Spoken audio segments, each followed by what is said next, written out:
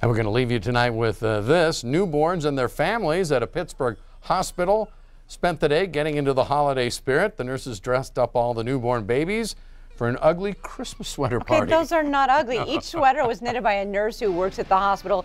The babies and their families even got a chance to meet Santa and Mrs. Claus. The hospital also decorated the nursery with holiday decorations, including a sign that said, ugly sweaters, cute babies, and obviously we agree.